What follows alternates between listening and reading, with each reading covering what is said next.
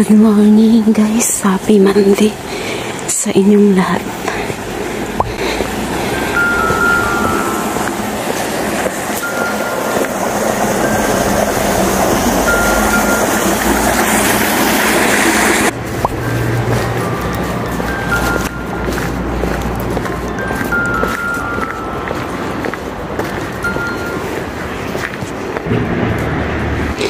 Ganito na yung weather dito ang update ngayon guys. May mga snow pa siya sa gilid-gilid, may makapal pero malapit na ang spring season. Yan kunti na lang sa mga kalsada. Wala na siyang snow na marami. Napakaganda ng umaga. Yung mga kalsada, ganito na siya guys. Wala nang snow. Yung mga gilid na lang talaga mayroon pa. Kasi ilang araw na hindi na siya nag-uulan ng snow. Pero uulan pa to siguro hindi na ganun karami kasi March na tayo. Cherry blossom na talaga guys. Malapit na ang spring season.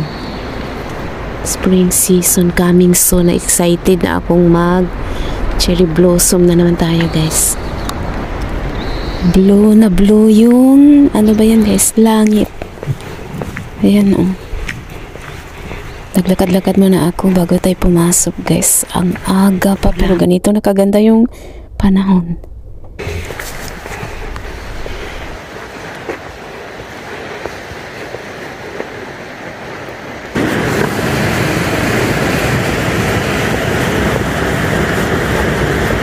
ganito na kaganda ang panahon hindi na siya nag-uulan ng snow kasi araw-araw. Kaya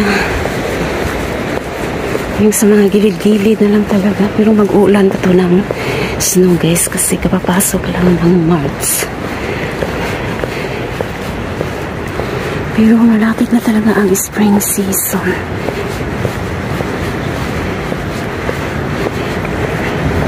excited na rin ako sa mga cherry blossom. Kasi kahit araw-araw ko yung nakikita gusto gusto ko talaga yun. Sa banda dito o sa gilid ang kapal pa. Pero at least yung karsada wala na. Hindi na tayo mahirapang mag-drive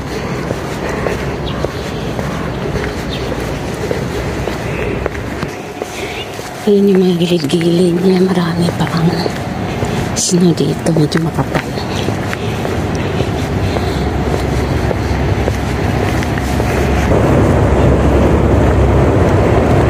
Lumabas na siya. Kawawa naman. Natatabunan kasi siya ng mga snow guys. Ngayon lang siya lumabas. Kawawa. Tapos yung sa banda dito, ang gaganda ng mga bahay dito. Maganda talaga ng mga bahay ng mga ano guys, ng mga singkit. Mga bagong bahay, yung mga ano, yung mga nakahilira dito halos lahat mga bagong bahay.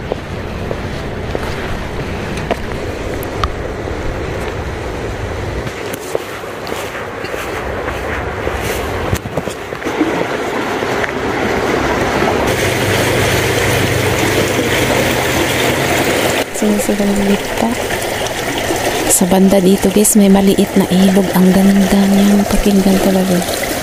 Yung tunog niya ba? Yan ang ilog. Ganyan lang siya. Ang maliit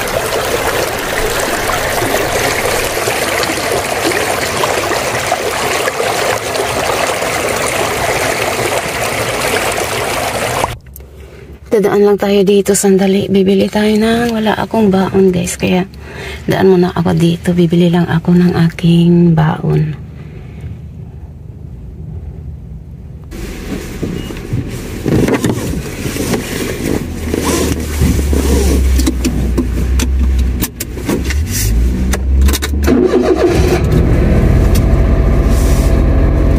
Kaya nakabili na ako ng aking pang ano guys, pang tanghalian. Kaya tara let's na. Ang ganda ng mag drive ngayon. 濃霧注意報が発表されています気をつけて運転しましょう Wala na siyang snow sa kalsada. Sa mga gilid-gilid na lang talaga dito sa lugar namin. Yung pinuntahan namin noong Saturday, ayo siya dito sa amin, dalawang oras. Magdadrive ka ng dalawang oras. Ganda talaga kasi wala na siyang snow. Nag-uulan kasi ng snow doon, kunti lang. Hindi talaga kagaya dito sa amin na napakarami. Kaya hinubad namin yung mga jacket namin pagdating doon na initan talaga ako sa loob pa lang ng bus. Grabe ang init. Ibang iba yung temperature niya dito sa lugar namin. Ganito na yung kalsada niya. Oh. Yun nga lang yung mga sa gilid-gilid, ganyan dami pa, kapal pa talaga. Pero madali lang namang matunaw yan pag araw-araw na talagang ganito ang panahon. Mag spring season na naman, malapit na talaga guys.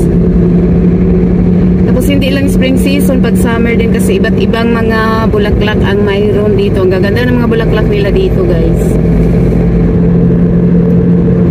Kaya very excited na ako sa spring season.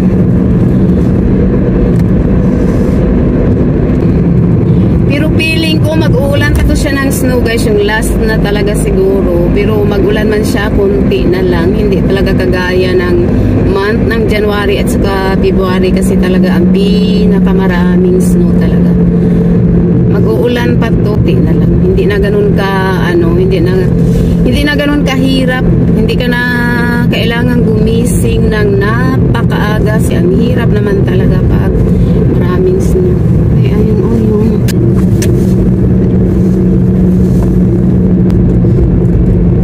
ano bang tawag dito? Chukay ba yan? Doon na nga natin yan titingnan. Ayan, ano na natin. Wala yan. I-stop kasi.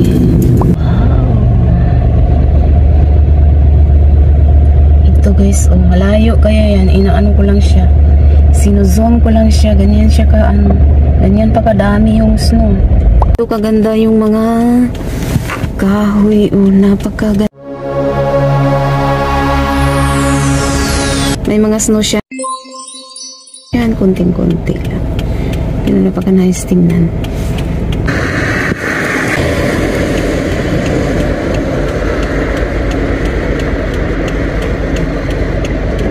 Tapos ganyan yung paligid niya guys. So, ang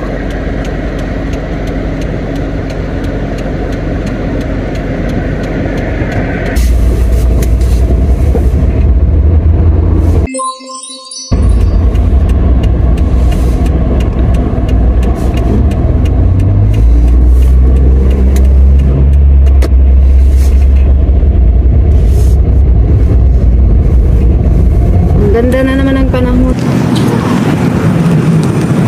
Siguro mainit na naman kung mamaya. Ang ganda ng lugar dito. Wala sanang snow masyado dito sa gusto kong pumunta doon.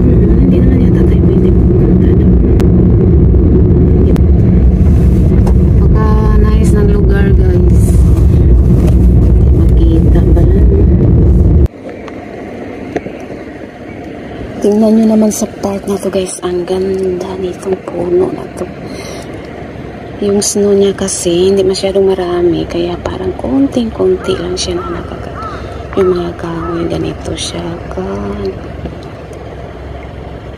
Yung mga snow may mga nagandang tingnan. Ang parking kasi dito. Tigil mo lang talaga yung sasakyan mo dyan sa gilid. Tingnan. Ikot natin yung camera natin. Ganyan siya guys. Oh. Itong puno na to. Oh. Cute tingnan ito. Halos mga puno ganyan siya. oh.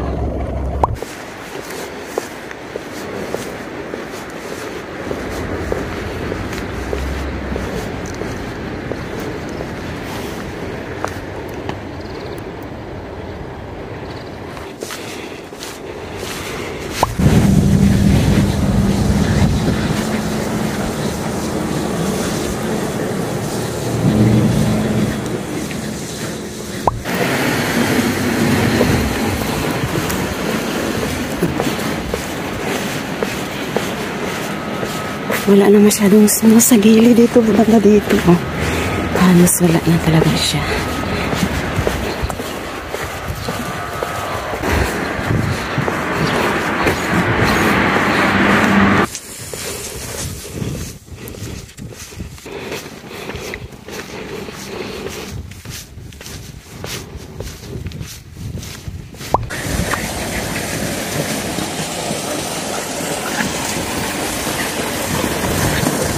Ang ganda na na yung panahon. Ang dami. May mga snow kasi talaga sa gilid dito. Malamig pa rin sa kamay guys. Naninigas pa rin yung kamay ko.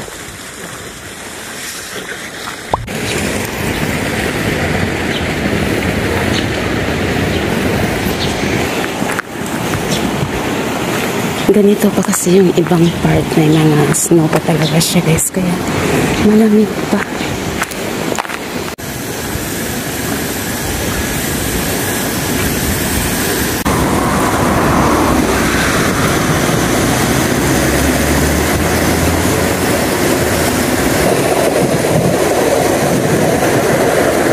Ayun yung bundok na yan. Sa ayo pa yan dito. Pero kikita mo siya dito guys. Ang ganda nito. Kasi kahit summer na dito, hindi talaga nawawala yung snow dyan. Ganyan siya. Oh. Mataas kasi yan yung ano yung bundok. Tapos yung paligid niya. Ang ganda talaga ng lugar na to.